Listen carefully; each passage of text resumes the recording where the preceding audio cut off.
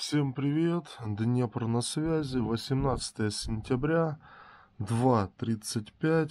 Ну что, друзья, у нас на данный момент без тревоги, но в воздушном пространстве Украины продолжают летать беспилотники. Украина еще тревожится. У нас на данный момент начался дождик и такая вот белая ночь.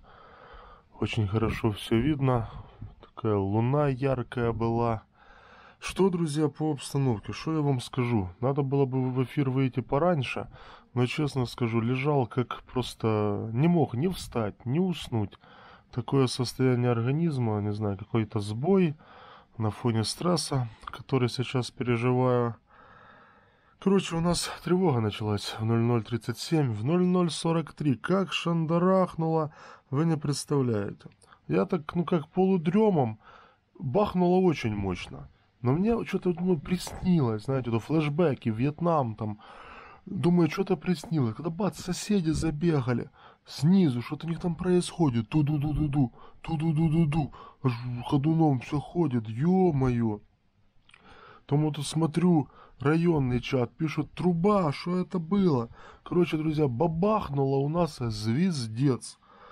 При этом, я не знаю, мы слышали просто как чумачечее что-то. С центра люди написали, что тоже слышали взрыв. Э, предварительно э, звучит так, что был разведывательный БПЛА, и в пригороде нашего города его сбили, представляете? Но ну, это труба, друзья, вы просто сумасшедший взрыв был.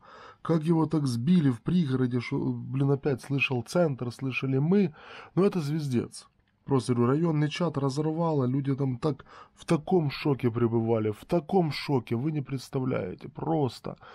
Ну, труба, друзья, очень мощнейший взрыв. Многие пишут, что прилет, потому что он был слышно как будто в землю, да. Разведывательный беспилотник сбили, так что у него нет э, взрывной вот этой части, да, взрывчатки. Как оно так бабахнуло? Это труба. Просто труба, я вам скажу. Что еще, друзья? В Суммах тоже массовые взрывы, атака беспилотниками, ракеты летели на Крапивницкий, там, через Полтаву. В Суммах там труба опять, мощнейшие взрывы были, друзья, но основное, наверное, самое пока критическое, что по атаке, это Запорожская область, Запорожье, начиная с полдесятого плюс-минус, сумасшедшие взрывы были слышны, очень мощные, люди напуганы, Предварительно Россия применила новую тактику, как-то били новыми модифицированными кабами э, по Запорожскому району, по пригороду Запорожья атаковали, а Запорожье так слышала. В общем, труба, друзья, жесть. Кстати, Сергей Лыса, глава областной военной администрации, он знаете, что сказал в конце дня? Сказал, что семь обстрелов по Никопольскому району было были направлены дроны «Камикадзе» и тяжелая артиллерия. На один из населенных пунктов был скинут боеприпас БПЛА, повреждены админ, строение и сарай, э, выбит, выбиты стекла массово. Ну, обошло, слава богу, без пострадавших. Зато пострадавшие есть в Криворожском районе. Короче, мужик забил металлической палкой своего соседа до смерти, представьте себе. Удары пришлись по голове и телу, после конфликта нападающий оставил соседа умирать и ушел с места преступления. Но ну, его задержали, конечно, теперь 10 с рогача светит. Ой, друзья, и касательно Запорожья. Был, сначала сказали, что вот Запорожский район, Запорожье нормально, э, друзья, затем сказали, что ну просто жесть что был, был, был масс, массовая была атака Запорожской области, двое погибших, пять раненых, пострадала Камышеватская громада, там повреждено несколько частных домов и инфраструктурный объект.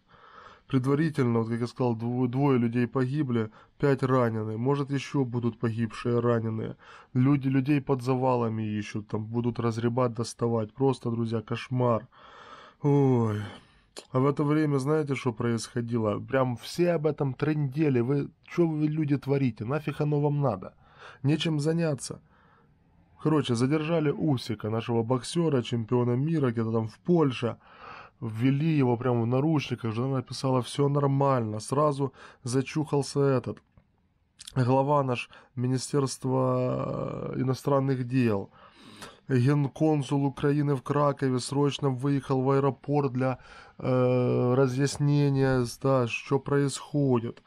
Э, в комментарии от Министерства иностранных дел было указано, что Украина категорически не воспринимает продемонстрированное на видео отношение к своему гражданину и чемпиону. Слышь вы, Скибига, все остальные, э, а вас ничего не смущает видео, когда люди в камуфляжной форме мужиков крутят, не? Или это другое? Так это даже у вас в стране, если вы не забыли, что вы в Украине, Министерство иностранных дел ввели прям в наручниках, и их так это, э, э, такое отношение. А то какое отношение у вас внутри страны к гражданам Украины, не? Это вас никого не волнует, все нормально. Тьфу, тьфу, тьфу, тьфу. Десять раз на вас, тьфу, противно, фу. Этот Сибига говорит, уже обратились к польскому коллеге с целью э, срочного решения этой ситуации. Министр также поручил генконсулу высказать протест, ой-ой-ой, и неудовлетворенность отношениям.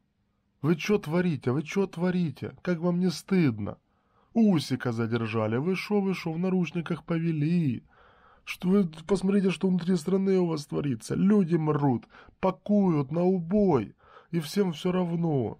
А тут они ой-ой-ой, ути-пути, хрен на блюде.